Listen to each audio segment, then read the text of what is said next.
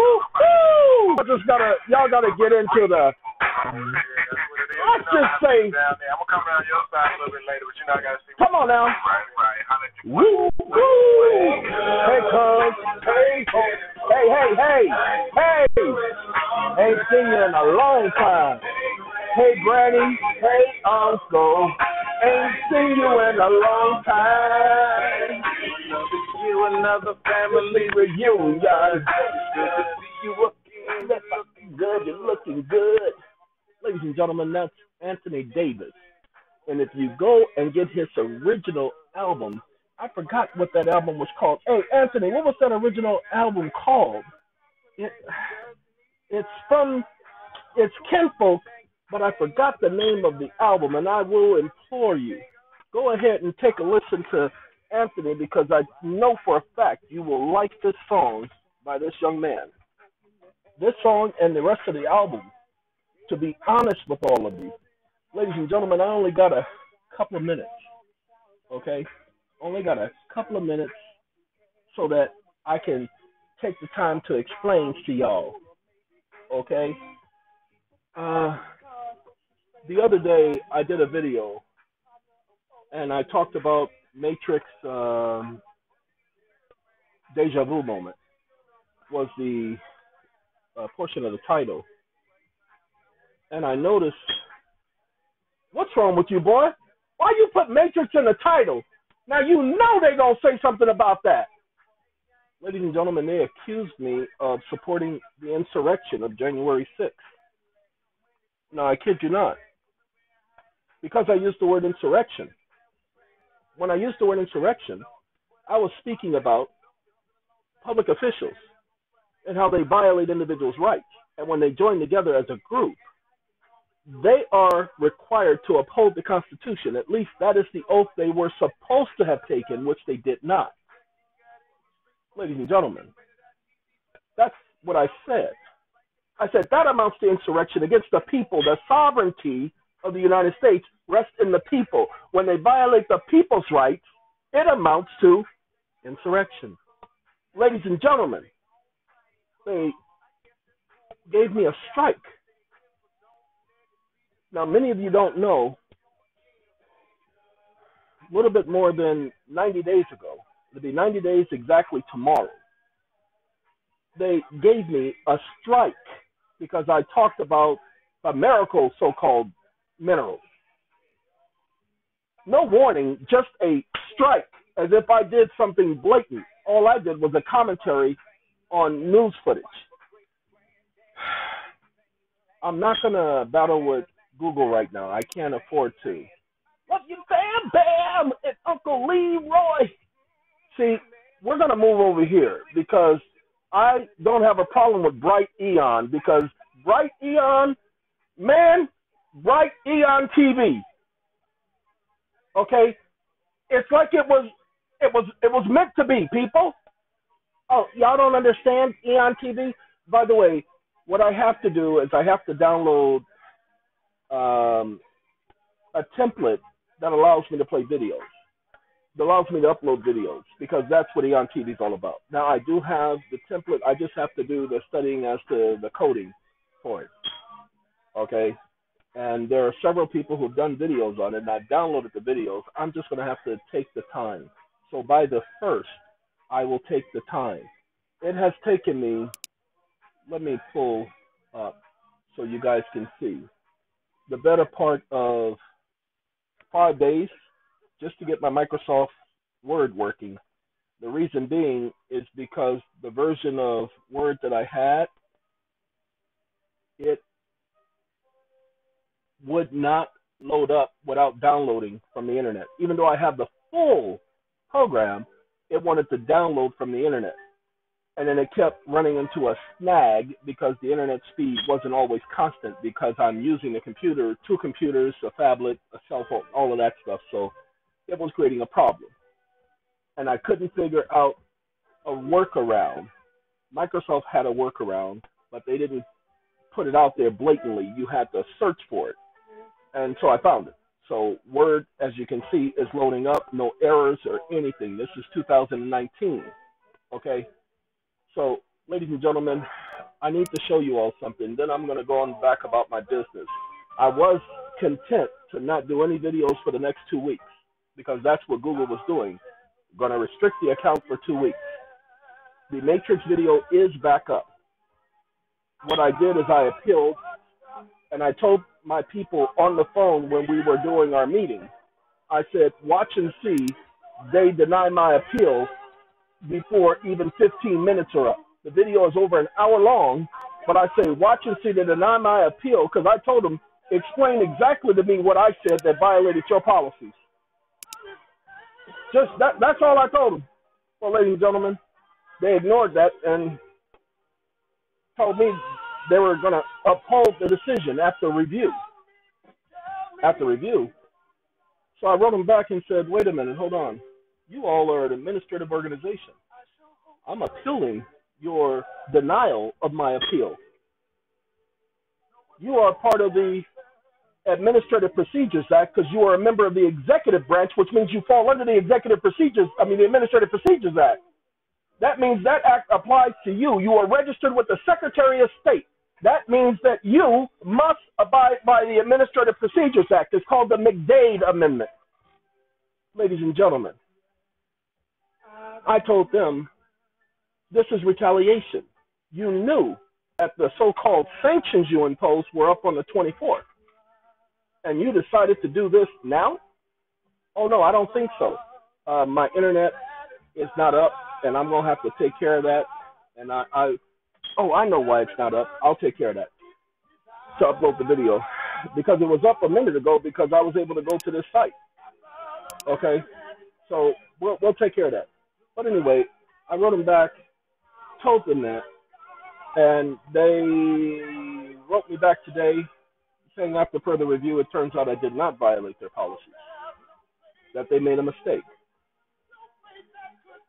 Ladies and gentlemen, I was getting ready to, by the 5th of January, file a lawsuit against Google, but it wasn't going to be a regular lawsuit because I already did the arbitration against them. I was going after them for a breach of the agreement because they never contested the arbitration agreement. And remember, all of my emails, when they do their, because Google's changing their terms and conditions. But when I did the appeal, I sent them notification respecting the terms and conditions because the appeal I sent them was through my email. Okay? And previously I sent them a copy of the terms and conditions. But I just let them know that I do not accept their change in terms and conditions. And no, I'm not going to stop using the platform. I will slow down using the platform because I they are trying to put enough pressure on people to where they don't want to do videos anymore on YouTube. I'm almost there.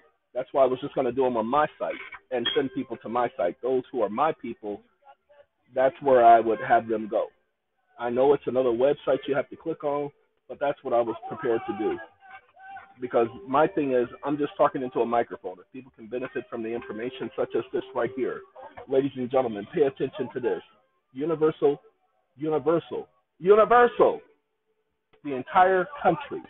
Loan identifier if you do your research, you'll find that the Bureau, known as the Consumer Financial Protection Bureau, has a algorithm that they've created that creates these numbers for these idiots. The Bureau created a check digital tool that can be used to generate a check digit. The check digit tool can be found here, consumerfinance.gov ladies and gentlemen, go and take a look. This says this was updated. Sorry about that. That's me doing too many things and moving up with the mic, uh, the mouse. Um, 2018. Now, it wouldn't do people any good who have mortgages that were predated, would it? Well, actually, that's not true.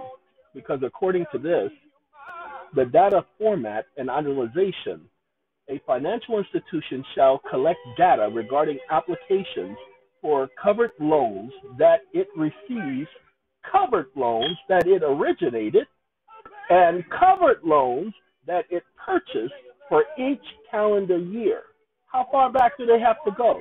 Well, let's find out exactly when all of this started.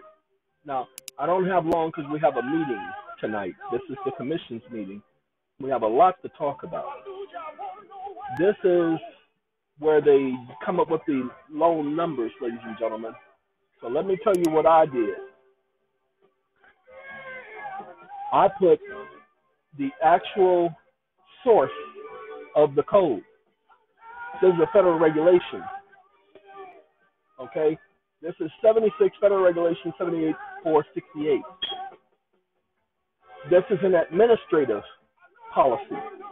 They're an administrative agency, administrative corporation because they're under the Secretary of the State. So once you're under the Secretary of the State, they fall under the administrative branch of government, the Administrative Procedures Act. Okay? December 19th, December 19th, December 19th, 2011.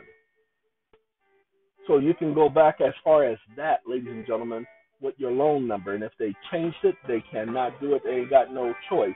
Hey, uh, we're to play you next time, okay? Right now, we're to skip you. We can go to Al, because he's talking about men and broken hearts. And I ain't played Al and Broken Heart in a long time, y'all. With his gay looking self on this album. I'm sorry. I, I apologize. I, I look. I, I'm sorry. I apologize. Lord have mercy if that wasn't what he was aiming for when he did that picture for that album. Oh Lord. Anyway, and then he want to talk about any. I apologize, y'all. This is the part I want to get to. Yes, I'm a fool. All right, generating a digital check. Okay, ladies and gentlemen, I want you to see what they must do in order to create a number. It ain't just them creating their own number. There is a method to it. Pay attention to how the number is created. Look at what each letter represents. Okay? Sorry about the beeping, but that's me rolling this mouse up. This is the whole section, ladies and gentlemen. There is a method to the madness, okay? Then they give you examples. That's why I'm telling you guys, they cannot just change that number because they feel like it. There is a method to it. Do not back down off of the fact that they are foreclosing on a different transaction number. That's your phrase, ladies and gentlemen. It is a transaction number. Pay attention. That's what that number deals with a transaction. So if you have a different number, it's a different transaction. Pay attention to me. If it's a different transaction, then what the bring the information for that transaction. What you're referring to has nothing to do with that transaction. You follow me, people? Do not let the courts, just like I just did with Google, people, I do not back down. I do not walk away. I do not step away. Just because somebody says no, you don't accept no for an answer. Appeal every decision. And then when you appeal that decision and you appeal the next decision. That's what you do, people.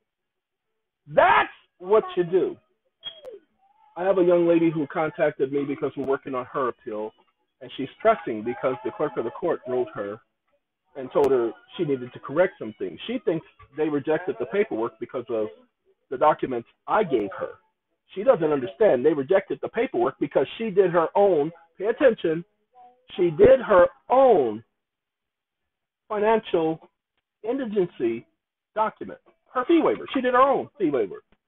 Ladies and gentlemen, technically she, she could do that. But because it was so generic, they rejected it. If you take a look at the documents I gave you, they're from another court website. Of course, they're in the proper format because the court system is uniform. Go ahead and look at the uniform court system. Every state has a uniform court system. The country has a uniform court system. Pay attention, people. I didn't start doing this yesterday.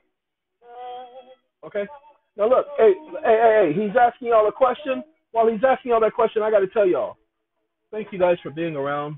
Those of you who were a little bit worried, concerned, or interested, this is so that you know what went on. All right? I gotta go. Y'all take care, okay? Gotta go, gotta go, gotta go. 15 minutes and 5 seconds.